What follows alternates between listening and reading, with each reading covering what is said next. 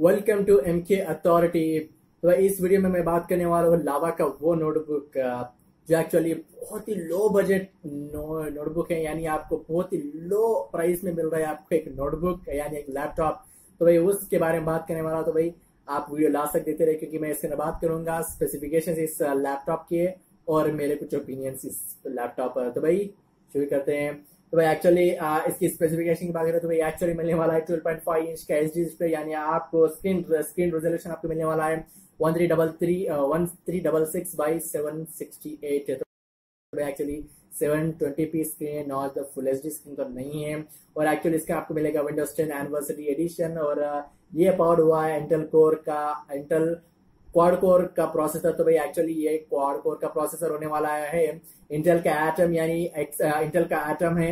X five Z eight three five zero इसका processor है। तो भाई एक्चुअली ये clock by one point one point double eight giga hertz और इसकी बैटरी की बात करो तो इसके नाम मिलेगा दस हज़ार एम की बैटरी तो इसकी स्टोरेज की बात करो तो इसके नाम मिलेगा दो जीबी के रैम जो कि जो कि दो जीबी की रैम हुई है, वो है डी डी आर थ्री की रैम है और स्टोरेज की बात करें तो इसके आपको मिलेगी थर्टी टू जीबी की स्टोरेज तो ये एक्चुअली सिल्वर गोल्ड कलर्स में मिलने वाला है आपको।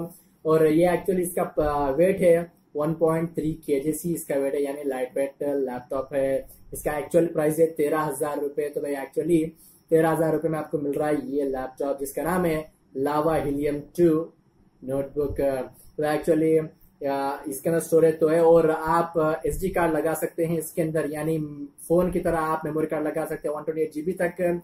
और आप इसके अंदर वन टीबी का हार्ड डिस्क भी लगाकर यूज़ कर सकते हैं। और एक्चुअली इसकी स्क्रीन तो भाई एक्चुअली स्क्रीन हुआ है सिक्सटीन पॉइंट नाइन रेशियो का स्क्रीन और वेब कैम भी इसके नाम मिला है, जो कि आप वीडियोस भी रिकॉर्ड कर सकते हैं ऑनलाइन स्ट्रीमिंग कर सकते हैं।